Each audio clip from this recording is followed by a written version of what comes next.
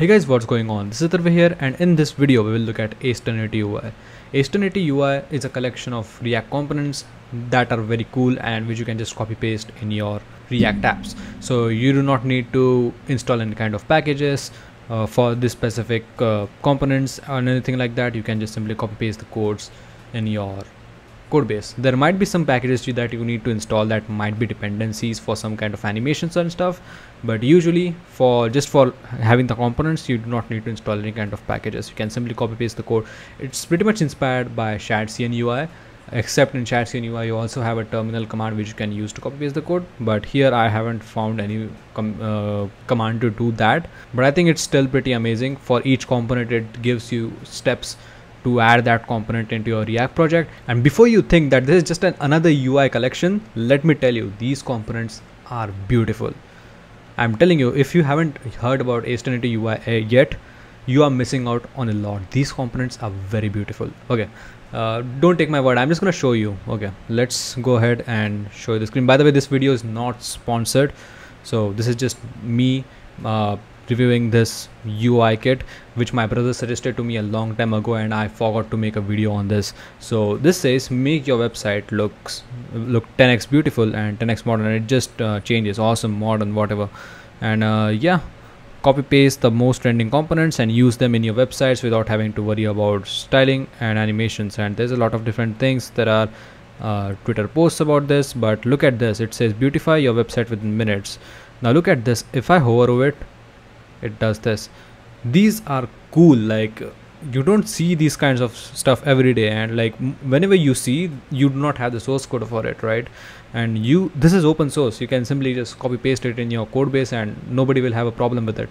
And even this like uh, you you have uh, uh, this you can you simply use this for like who are online on a specific file just like in figma uh, when you are uh, using Figma in a collaborative mode you can see who else is viewing the file at the same time. You can implement this and this has some really good animations. And uh, yeah uh, even at the hover thing. So if, if I hover on this the lights glow and it looks pretty cool. And here there is a custom uh, cursor I should say. Yeah and there is a tooltip for it. Uh, again it might be very useful for documents or something like Figma clone. Yeah so there are two options. Uh, first is browse components and second is custom components. So there is only one person i guess uh, one main person behind. Aceternity UI there might be some other open source contributors but uh, the one person uh, can make you custom components if you want to and that person is Manu Arora. I wanted to go ahead and give him a follow. Uh, I am using my YouTube one so uh, this doesn't show that I am following him but I am following him with my Twitter account. So just go ahead and follow him. Just a great developer. So yeah. Now let's look at browse components. Now these are all the components that you can use. So if you want to request a component you can do this here. So this is just a discord server link. I highly recommend to join this okay so there are a lot of new ones so anyone with the label of new is a pretty new uh, component so okay if, what if we look at something like um, okay let's open I'm gonna open GitHub globe. Let's see what this is. We sell soap worldwide. The globe is interactive and customizable. Oh, so it has a complete globe which you can just rotate and whatever. And you can simply add this into your React project and the steps are below. Like if you just go here, you need to install all of these things. You just need to have a utility file which you need to create in uh, anywhere basically, but uh, you just need to change the paths if you choose to do it anywhere else. And yeah uh, this is made for basically next.js so if you are like using next.js so you need to use client. But if you are not using if you're only using client side uh, frameworks it's fine. Uh, so yeah these are all of the stuff. You can add as props there are a lot of different things. Uh, we haven't even went into the coding part yet. Uh, there are a lot of things even i haven't checked it out so i think uh, we should first check stuff out. So if we go on 3d pin yeah the, the, I, I don't even need to explain to you guys. This is just awesome. So if we go on like something aurora background yeah there's uh, i don't have any words to say like uh, if i start like uh, praising him. At one point my praise is going to just run out and i'll be like yeah this is just expected by him at this point. Anyways let's look at a few more and then we can move ahead. So oh yeah this this this this looks good. So if there are any kind of like projects you want to build i think this is a perfect ui kit. Just use them and like i think they are a very good touch even though recruiters might know that this is already being used from some other ui kit. I think this would be a very good touch um yeah so let's look at something like I want to show you the multi-step loader. This is also good. So like if you're using some kind of you're creating some kind of full stack app you can use this kind of loading. I think this looks pretty cool. I don't know about you. I think this looks pretty cool. Not gonna lie. Okay so enough of uh, checking all of these things. One last before we go. This looks good. I just wanted to show you this. I was for searching this for very long but yeah enough of showcasing the components. I'll leave the link in the description. Go ahead and um, see what are the components. There are a lot of cool components. Just um, try and see which one you want to use. Now we will go ahead and try to use these in our next.js application. Alright so I'm going to create a next.js application in front of you. So I'm just going to do bunx create next app and I'm going to name it uh, I'm just gonna name it Aceternity UI. Aceternity UI demo should be a good name. Alright, perfect. Now it should ask us a few questions. TypeScript, yeah. Uh, ESLint, sure. Tailwind, yes, because uh, it's pretty easy to style, and I have seen that he also uses Tailwind, so it's good to have Tailwind. Uh, would you like to use this directory? No. Uh, app router, yes. Uh, import alias, no let's just install this and let's just get started. Should not take a lot of time. I'm using bun so let's wait for this. All right now that is done we can just go to cd aceternity ui demo. And now i'm going to do ls and i'm going to do code dot to open vs code here. Yeah my vs code doesn't work well nowadays. Oh it's updating. Okay alright can we open VS Code please? Yeah perfect. Okay in the app directory uh, first of all we need to go ahead and see what it really wants. So I'm just gonna go ahead and put it into a new desktop so that it's easier to switch. And now uh, we can just go ahead and see what other things we need to do. So we can just go ahead and first we need to install all of this. So I'm just gonna copy this. And instead of npm we are just gonna use buns so I'm just gonna do uh, paste here and I'm just gonna rename this to bun. I would really appreciate if there were commands for bun2 to be completely honest but I think it's really not that important. I can simply just open I so yeah uh, it should not take a lot of time. Uh, should be installed pretty quickly and we should be able to move on with the next step. So okay while that's installing we need to create a utility file. So I need to create a utils folder and create a cn.ts file. So I'm just gonna copy this I'm just gonna go back here. I'm just gonna have a new uh, should I have okay I'm just gonna have it here utils. And here we are gonna have cn.ts I'm gonna paste the contents here. Perfect. Now we are gonna go back and see what's next. We need to copy this actual component now. So we can go back here and now I'm gonna have a new components folder and I'm just gonna have what was the name file? Uh, sparkles.tsx okay. Oops can we create a new file? Yeah sparkles.tsx perfect. Now we can just go ahead and paste it here. Perfect. It's a long file like you can see it's, it's pretty long file.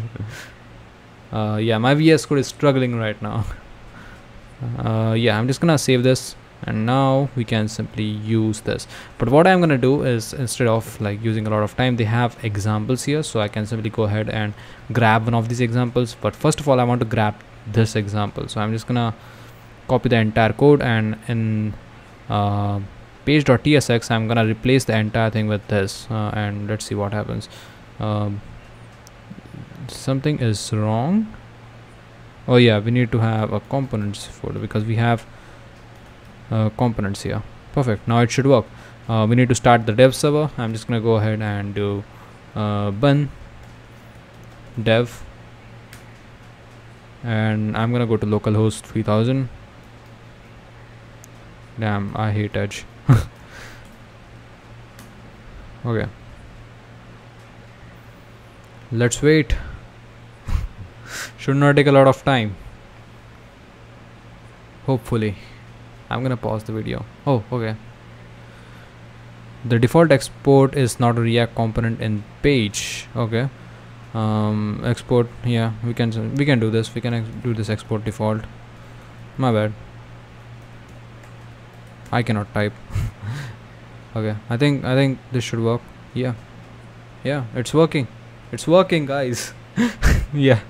It's working so yeah the basically uh, this uh, text is not a part of the sparkle component. It's made it's made so that the sparkles appear below Aceternity so they uh, so he has done some kind of uh, radial gradients and stuff and uh, uh that's how it's working.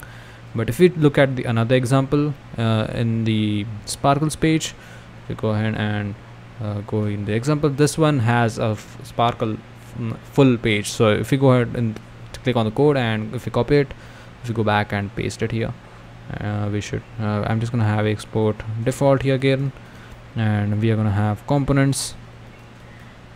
Perfect. I'm gonna save it. Uh, let's go back.